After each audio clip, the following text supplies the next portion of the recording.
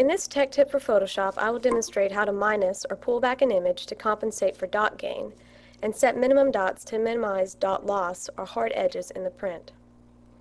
In this file, using the threshold command, I've identified the lightest highlight and darkest shadow in this image. I've also selected reference points for the quarter tone and three-quarter tone. I'll be referencing these points throughout this demonstration. Having run a press characterization with the same set of press conditions and variables that will be used for this job, I identified I have an average gain of 15% from final film negatives to print. To compensate for this gain, I'm going to apply a minus or pullback curve of 15% to my image. I've also identified the minimum dot I can hold on the film negative and maintain through plate making and printing is a 2% dot. To pull back my image, I will open my Curves window. I do this by selecting Command M. Notice I am currently affecting all four channels CMYK. To create different curves for each channel, I can select specific channels by selecting the down arrow or by selecting Command 1, 2, 3, or 4. We are going to apply a generic curve to all four channels. If you remember, as I stated earlier, from my characterization I have determined I am getting a 15% gain on press. To compensate for this gain, I am going to create a pullback curve of 15% by placing a point where the 50% horizontal axis and 35% vertical axis meet. Notice you can also type in the exact measurements.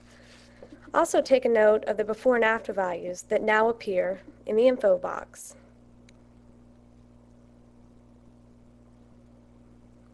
Specifically note point number two, where my 2% dot has now gone down to a 1% dot.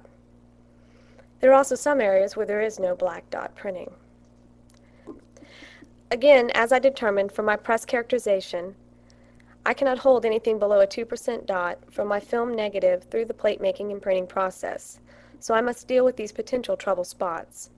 These spots could end up causing dirty print or hard edges in a continuous tone image. To deal with this, I will set a minimum of a 2% dot in this image by bringing all of my 0 and 1% dots up to a 2% dot, so the continuous tone will print smoothly when on press. Notice how the curve changes as I toggle between the output values of 2 and 0%.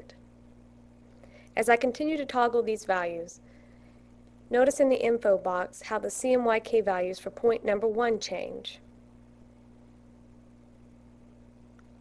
Now look at point number 2. My 0% goes to a 2% as desired.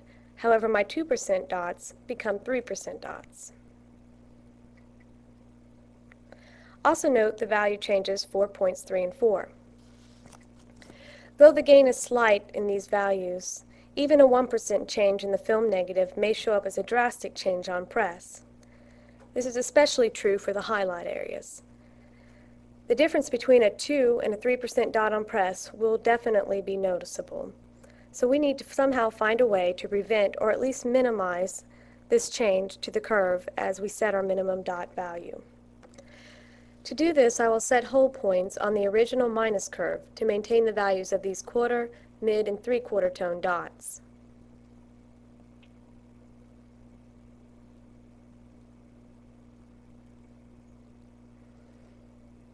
Now, when I change my 0% input to a 2% output, I am not changing the arc of the rest of the curve. You also notice point number 2 in the info box. My 0% black dot is now a 2% dot, and my 2% dots for cyan, magenta, yellow are still 2% dots. You may also run your mouse over the other areas within the image to see how the values may have changed